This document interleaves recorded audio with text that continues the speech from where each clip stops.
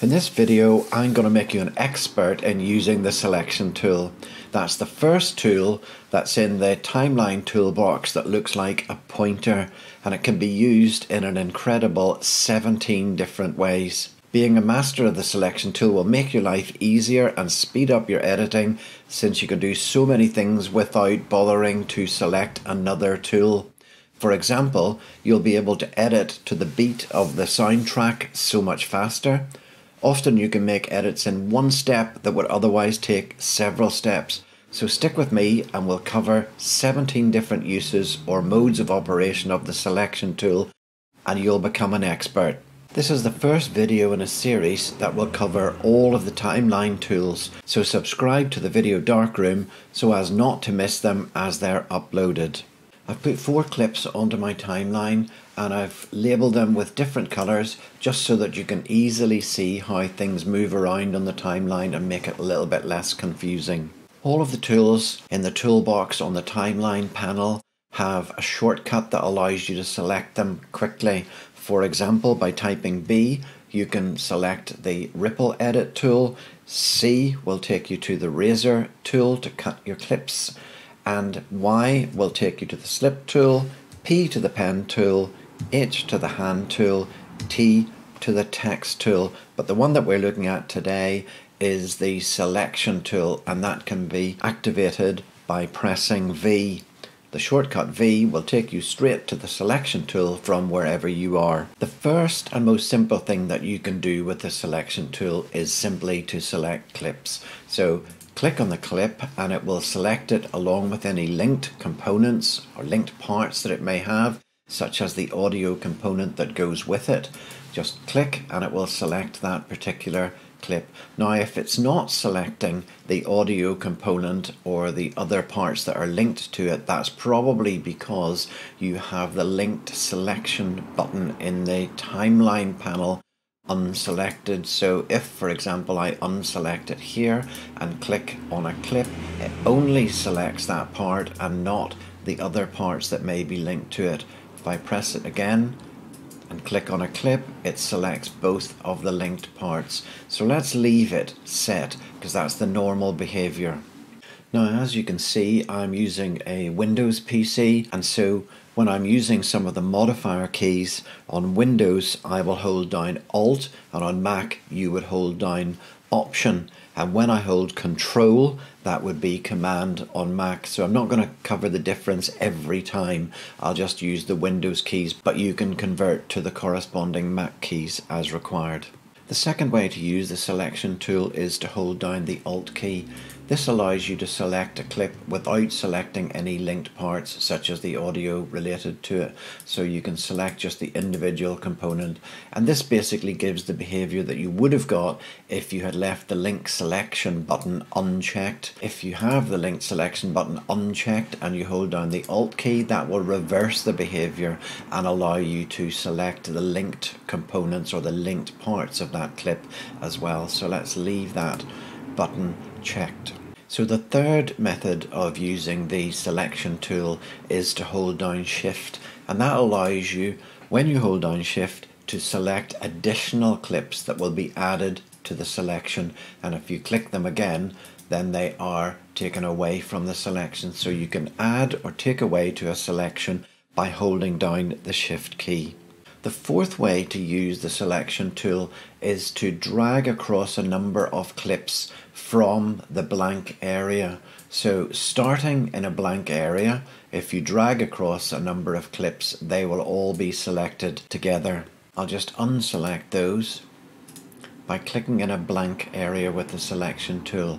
Now if I use this method of dragging from a blank area and selecting a number of clips I can add to that selection by holding down shift and dragging across a number of other clips and if you want to eliminate a clip from the selection you can hold down shift start in a blank area and end in a blank area and that will deselect any clips that you have dragged across in between.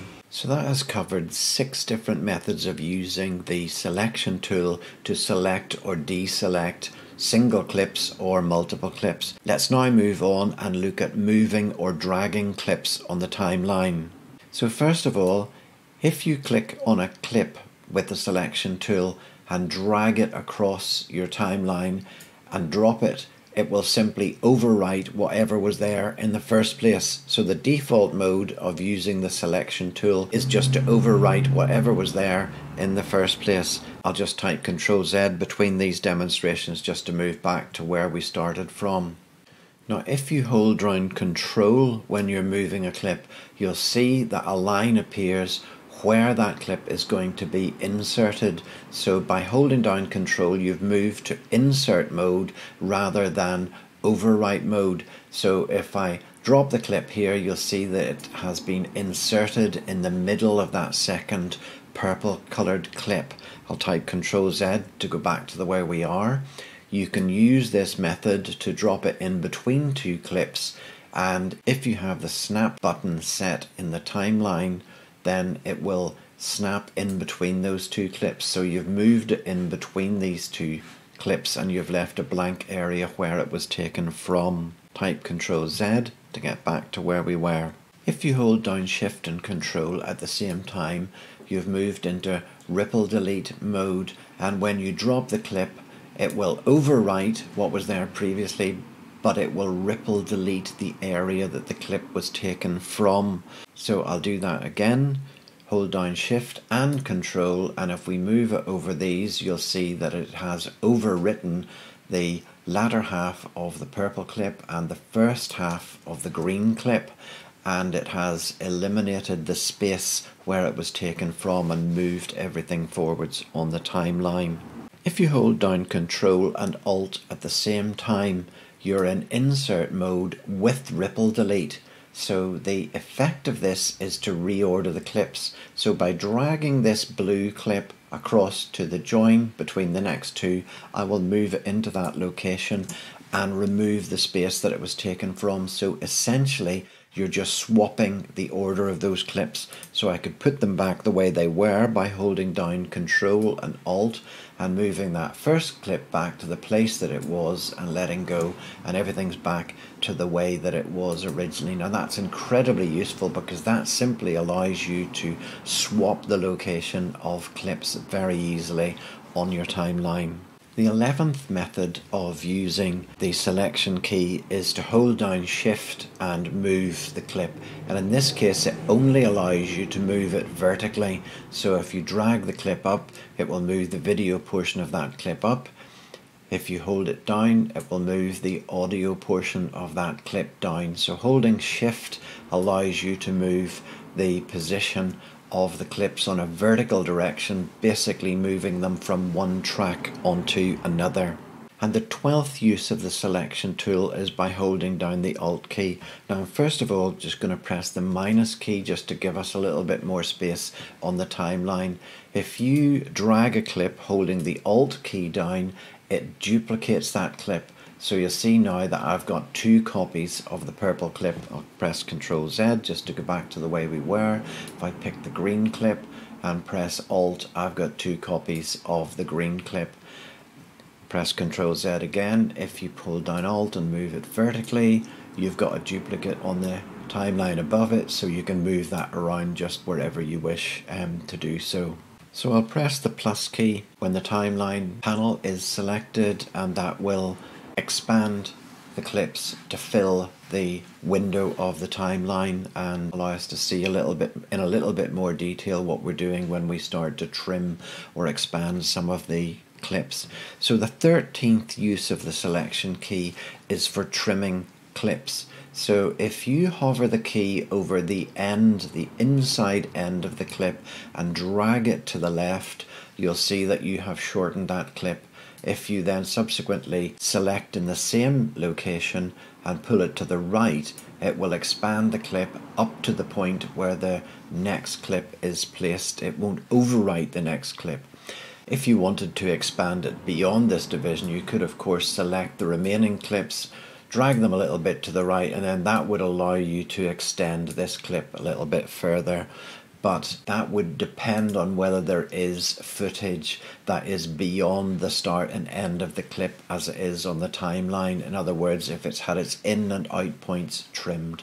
So let's go back to the way it was and we can demonstrate again how to do that trim. So just simply hover inside the clip end close to the end and drag it to the left, same position and drag it back to the right. If you want to do the same for the start of the next clip, you can select the start of it. You'll see the little red bars appear there and you can drag it to the right and you could then extend the other clip to the right. But all of these take more moves than is necessary and I want to show you faster ways of doing that. So let's type Control Z a couple of times and go back to where we were. So the 14th method of using the selection tool is if you hold down control.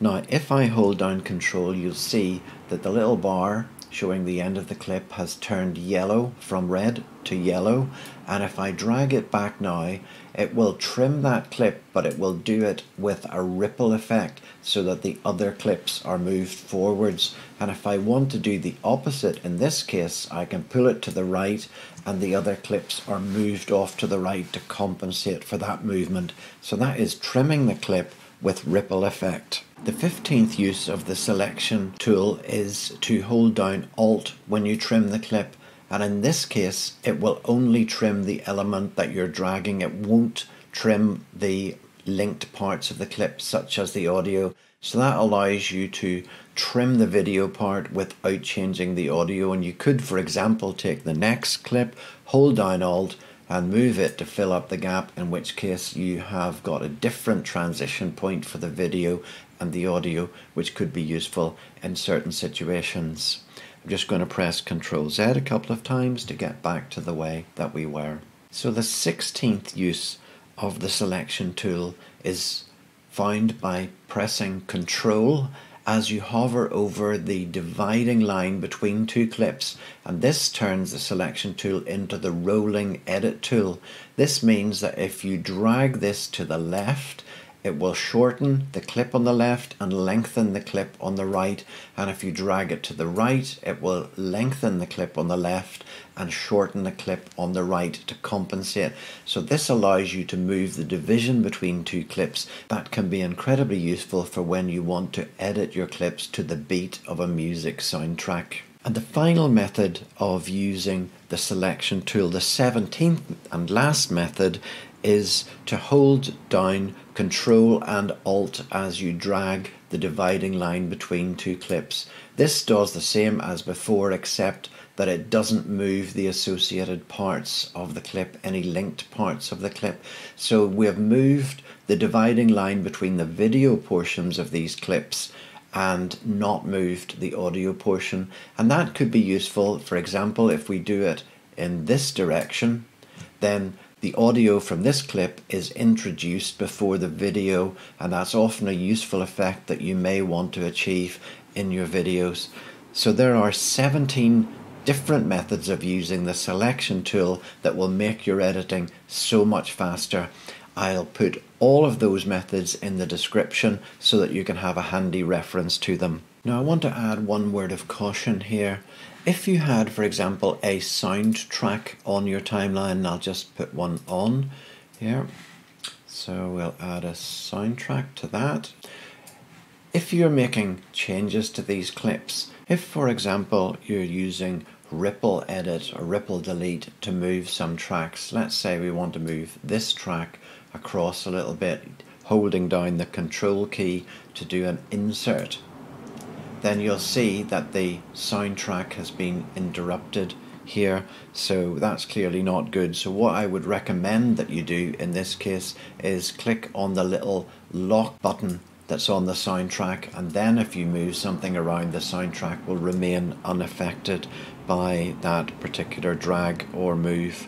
So just press Ctrl Z to get back to where we were. So just lock for the time being the soundtrack while you're making edits and you can subsequently unlock it if you need to make some changes to it.